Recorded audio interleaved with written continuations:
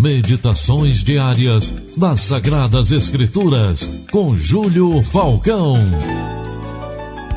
Tudo bem, meu querido? Estou retornando mais uma vez com a palavra do Eterno Deus para sua vida. É sempre um prazer poder compartilhar um pouquinho da palavra do Eterno Deus com você. Hoje nós vamos na segunda carta de Paulo a Timóteo, capítulo 2, versículo 22 ao 23, que diz assim: Mas agora libertos do pecado e feitos servos de Deus, tendes o vosso fruto para a santificação e por fim a vida eterna.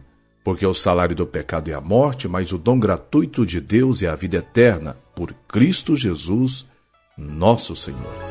Especificamente neste capítulo de sua segunda carta a seu discípulo Timóteo, Paulo advertiu profundamente sobre o pecado que nos distancia de Deus. No versículo 22, ele falou que somos libertos do pecado através da graça de Jesus para servirmos a Deus, dando aqui na terra os frutos do bom testemunho, para que um dia venhamos a colher o maior de todos os frutos, a vida eterna. Todos nós estamos sujeitos aos erros, aos mais diversos pecados, e Paulo sabia exatamente do que estava falando para seu discípulo, pois também lutava contra as coisas erradas que não queria fazer, como nos mostra Romanos 7, versículo 15. Porque o que faço, não aprovo, pois o que quero, isso não faço, mas o que aborreço, isso faço. Sabe, querido, precisamos abrir mão daquilo que pode trazer destruição para as nossas vidas tanto aqui na terra como na eternidade também, se realmente dizemos que temos uma vida nova com Cristo Jesus.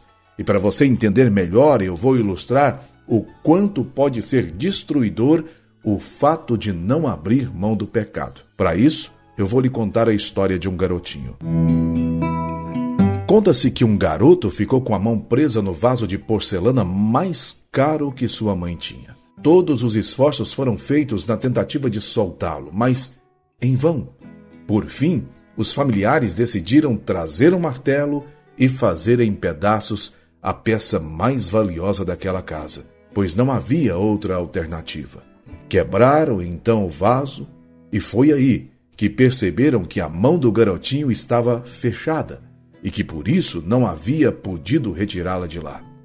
Quando conseguiram convencê-lo a abrir aquela mão, apareceu o que ele segurava com tanto empenho: uma moeda de cinco centavos.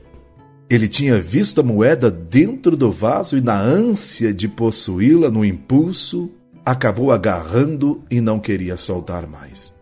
E por não querer soltá-la, acabou causando a destruição de um objeto de milhares de reais de sua mãe. E sabe, querido, muitos por não soltarem os seus vícios, têm destruído as suas vidas. A saúde, relacionamentos, os que não abrem mão do adultério têm visto suas famílias sendo quebradas como esse vaso de porcelana. Abra mão do pecado, pois o salário dele é a morte. Corra para o dom de Cristo, que tem a vida eterna para você e a sua família. Oremos juntos. Pai soberano, Deus eterno, querido, bondoso e fiel.